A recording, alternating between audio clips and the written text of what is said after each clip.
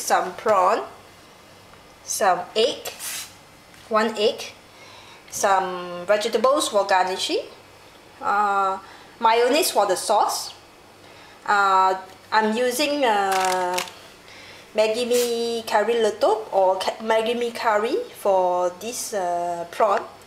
First of all, you need to boil the meat into uh, in after the noodle cook and soft like that. Okay, you need to wrap with your prawn. Okay, take take one shred of uh, meat.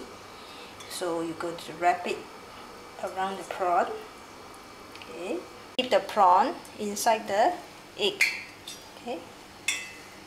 Okay, now uh, we need to heat up the oil to fry the.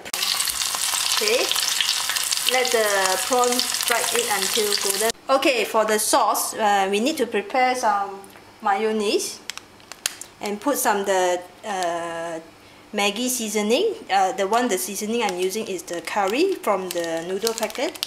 Put mix with the mayonnaise.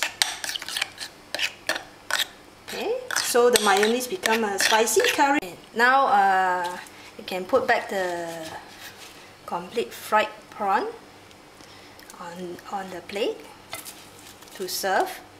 Okay, okay.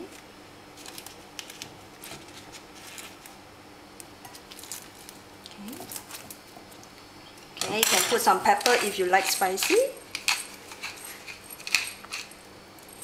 Okay, okay. You can put some mayonnaise at the side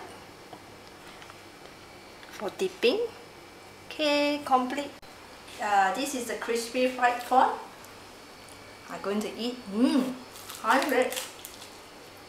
Mmm.